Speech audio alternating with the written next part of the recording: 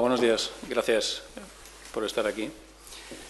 Como saben, Pantalla Global es una exposición que adapta un libro, un libro de Gilles Bobesky y Jean Serrois, eh, que es uno entre los libros interesantes que han aparecido últimamente a la hora de contemplar eso que podríamos llamar la historia de las pantallas desde una perspectiva nueva que no tiene que ver con lo que ha sido la historia del cine, la historia de las películas, de los autores, de los movimientos artísticos. ¿no? Tiene que ver, en realidad, eh, en ese punto de inflexión tan interesante en que las pantallas han dejado de ser el territorio exclusivo de la imagen en movimiento y que han pasado a ser el soporte, en realidad, de toda forma de cultura, comunicación y creatividad, o estamos en, este tránsito, es el momento en el que contemplar cuáles han sido eh, los poderes de la pantalla a lo largo del siglo XX, poder y qué gran influencia han ejercido en nuestro imaginario para hacer de la historia, del deporte, la publicidad, la propaganda, construir a partir de ellos nuestra idea del mundo y nuestra idea incluso eh, de nuestra historia más reciente. ¿no? Eh, esa es una de las nuevas maneras en las que contemplar eh, lo que ha sido el influjo de las pantallas y lo que hemos hecho desde el Centro de Cultura es precisamente adaptar ese texto a una exposición, a una experiencia, en la que eh, efectivamente, eh, se ha contemplado la participación del público. Hay un aspecto muy interesante en las nuevas pantallas, que es esto que se ha dado a llamar la pantalla social, eh, en la que hemos considerado que sería muy interesante que, como está ocurriendo con las pantallas ahora, que han dejado de ser o de proponer un ejercicio de subordinación al discurso o a la voz de alguien, ser en realidad un elemento de diálogo y de participación, en el cual gran parte, por no decir todos los espectadores, tienen opción a ser también productores de contenidos. Entonces la exposición se ha hecho eco de esto imaginando un discurso expositivo que pueda ser contestado, complementado, completado por la participación de la gente. Eh, ese ha sido el reto y ese ha sido, eso ha requerido, entre otras muchas cosas, precisamente eh, imaginar un periodo de incubación, un periodo en el cual, mientras nosotros construimos la exposición y la articulamos y terminamos los, eh, los trabajos audiovisuales que van a acompañar su contenido, a la vez saber compartir todo este proceso, eh, en este caso desde la red, para invitar a la gente a participar ya, de tal manera que cuando se inaugure la exposición exista ya alguien y algo en esa voz que contesta o complementa la exposición. En cierta manera estamos aquí en estas fechas y con esta anticipación para eh, subrayar y prolongar esta invitación también eh, aquí. ¿no? Eh, en estos momentos, mm, eh, ahora recorreremos un poquito la página para ver en qué manera se ha estimulado esto, pero en estos momentos ya hay varios cientos de colaboraciones que han llegado de México a Argentina, tanto como de Barcelona y alrededores. Es decir, que, que, realmente está la red funcionando bajo sus propias reglas, en el cual no, pues las distancias importan mucho menos que en el mundo, lo que llamamos el mundo real. ¿no? Pantalla global tiene el problema o el, reto de poder contemplar eh, este siglo y poco más de cultura audiovisual, eh, esquivando en la mayor medida de lo posible el efecto de la nostalgia. Eh, existen muchas exposiciones sobre cine, tanto sobre autores de cine, movimientos, tenéis aquí era la exposición de Fellini, han existido muchas exposiciones homenajeando el siglo del cine o la cultura televisiva.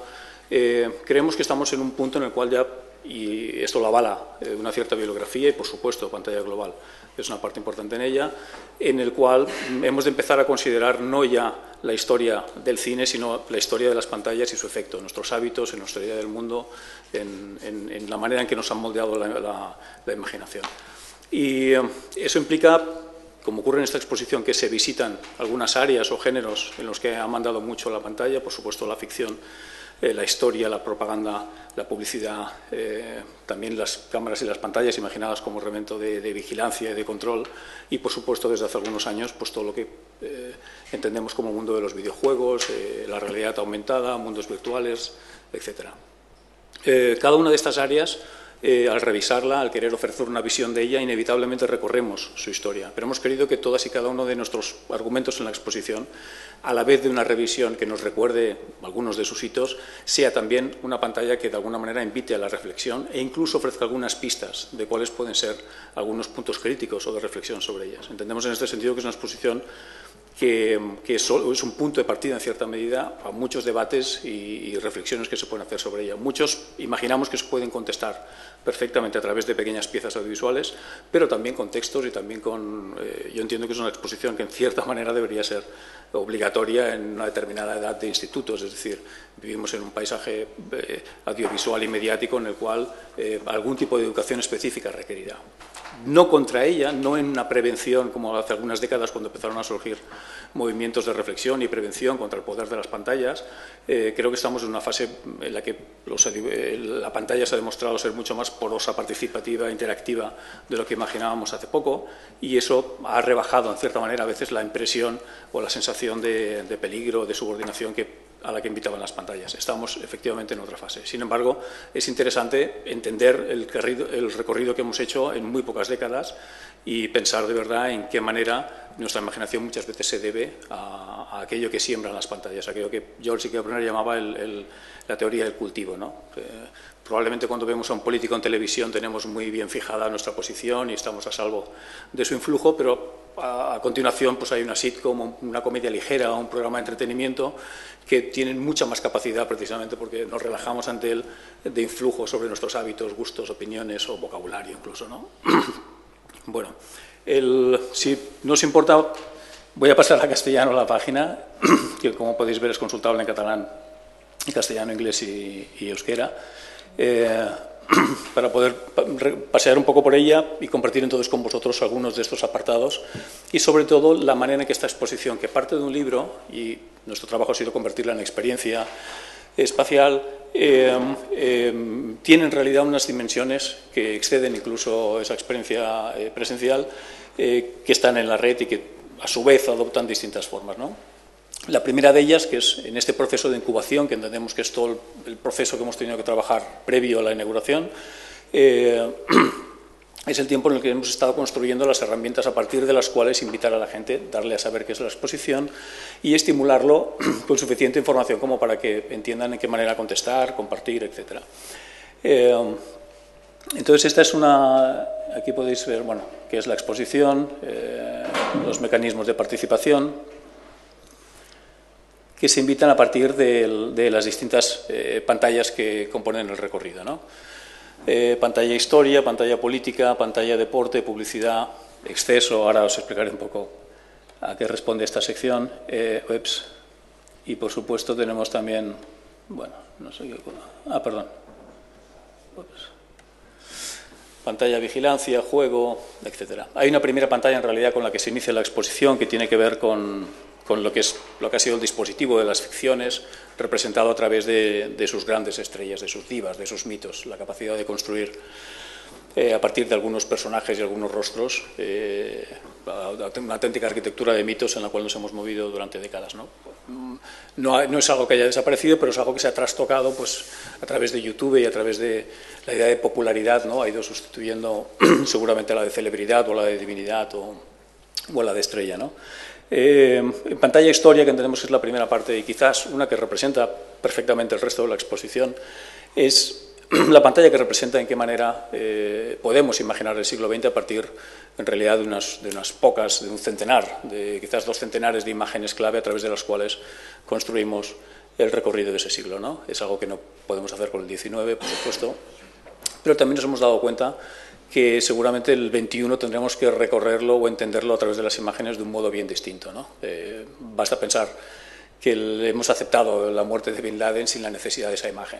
¿Por qué? Entre otras muchas cosas, porque hemos comprendido que en definitiva esa imagen podría estar falsificada, podría estar recreada. No es, han dejado, en cierta manera, mm, a partir de tantas manipulaciones y tantos conflictos que hemos tenido también con la información y las imágenes, han dejado de ser tan importantes como lo han sido en algunos momentos del siglo XX. ¿no? Eh, recorrer el siglo XX a partir de sus imágenes también es comprender que hay muchos eventos eh, de trascendencia enorme, deberían haber sido, que por no tener imágenes tampoco han tenido ese peso. Es decir, recorrer el siglo XX en sus imágenes también es comprender el problema de confiar demasiado en las imágenes a la hora de construir nuestras ideas y nuestras opiniones. ¿no? Entonces, eh, os cuento esto para que entendáis la manera en que estos son unos vídeos que en cierta manera celebran la cultura de la imagen y de las pantallas, pero que también deberían invitar a reflexionar sobre lo que han sido sus limitaciones los problemas que a su vez ha generado toda esta profusión de imágenes. ¿no? cada uno de los vídeos, en cierta manera, eh, trabaja en distintos ámbitos, como en el caso del deporte o la publicidad, a partir de esta celebración, pero incluye también elementos de reflexión y hasta de una cierta punción crítica para, que, para invitar, de alguna manera. Esto, incluso en este estadio de la página, en el cual, si accedéis a cada una de ellas, encontraréis un vídeo realizado específicamente para la página, en el cual más o menos se da a entender pues, el recorrido o el, tipo de, algo, en cierta manera, representativo del discurso que se encontrarán después en la exposición. Eh, no sé, no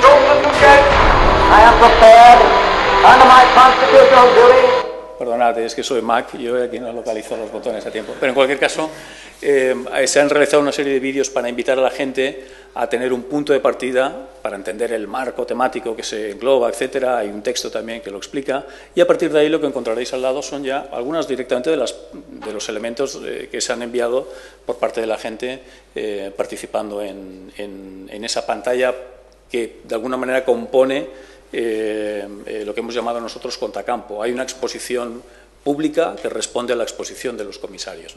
Eh, ese recorrido lo hemos llamado contracampo. Para nosotros responde también a un elemento que no habréis reconocido en, estos siete, en estas siete pantallas principales que es por supuesto la pantalla social, la pantalla entendida ahora como elemento de comunicación. ¿no? Eh, y que entendemos que es un elemento muy importante que ha, dejado de hacer de las pantallas algo que siempre respondía a una corporación o a una institución. ¿no? Bueno, eso en apenas dos décadas se ha volatilizado esa idea. Afortunadamente, ¿eh? no es que no tenga, a su vez, no genere problemas o debates, pero entendemos que es una situación eh, completamente nueva y lo celebramos en la exposición permitiendo que la gente nos conteste, no solo conteste los temas que presentamos, conteste a lo mejor también la manera en que nosotros los hemos resuelto, ¿no? o si nos hemos dejado alguno por el camino. En cualquier caso, ahora mismo ya incluso en el estadio en el que está la página, cada uno de estos ámbitos ya está contestado o comentado eh, por un montón de participantes. ¿no? Y esperamos que, por supuesto, una vez iniciada la exposición, esto se, se, multiplique. ¿no? Eh, ¿Cómo voy yo para atrás? Vale. Eh, incubación, ¿dónde estábamos? Campo. Participa. Bueno. Eh, a la vez, eh, bueno, veis también está, por supuesto, la, pantalla política, lo que entendemos la propaganda, el concepto. Hay elementos que se repiten en todas ellas. Por ejemplo, un elemento transversal es el de la ficción. Todas las pantallas han sufrido con el tiempo el, el influjo eh, impuesto un poquito por, el storytelling, la idea, eh, todo aquello que hemos aprendido de la ficción y que nos ha servido para ordenar el mundo real, ¿no? bajo esa ilusión de que es posible ordenarlo, pues un informativo nos cuenta todo lo que hay que ver o la propaganda eh, sabe perfectamente, ha aprendido de la puesta en escena cinematográfica para saber relevar ideas o personas de maneras muy elementales, ¿no? tan elementales que se repiten a veces y que lo que es interesante, que es lo que hacemos aquí, es contemplar esa evolución desde las tres, lo que podemos llamar las tres edades de la pantalla, el cine, la televisión y pantallas posteriores a partir del ordenador. La pantalla de deporte contempla esta idea de la pantallización desde otras ideas también, cómo se ha construido la idea de competición, cómo se han llegado a completar de una manera tan efectiva la idea de entidades e identidades colectivas de una manera tan efectiva, cómo se ha hecho del, del, del deportista un héroe y se le ha aplicado una épica espectacular y cómo también se ha convertido en el principal soporte de la publicidad fuera específicamente de los espacios publicitarios. ¿no? Bueno, cada uno de estos ámbitos eh, recorre, ya digo, una especie de recordatorio de ese proceso de pantallización y a su vez ofrece algunos elementos de reflexión. La pantalla exceso corresponde a un concepto original, lo hiper, muy querido por Lipovetsky, y que tiene que ver bueno, sobre esta especie de, de eh, drive, de impulso que sienten las pantallas hacia los límites de lo representable, pero también hacia la representación de los límites de la percepción por parte del espectador, del dolor por parte de los personajes, etcétera, ¿no? de lo mostrable, en definitiva. Entonces, es una parte que, que hemos estudiado eh, de una manera bastante cuidada para que responda a la expectativa que puede crear eh, eh, este título y que a la vez sea visitable por todos, que, se, que no debamos, como ha ocurrido algunas veces cuando nos hemos Em, cuando hemos profundizado así en los márgenes de lo representable, que ha habido que crear una sala oscura o un espacio visitable solo por adultos. Bueno, aquí ha habido una elaboración con, eh, trabajando con un artista extraordinario, el belga Nicolas Provost, a partir de una serie de trabajos que trabajan estos límites de lo representable de una manera que es eh, visitable y comprensible por los adultos y que no es ofensiva para quien no lo sea.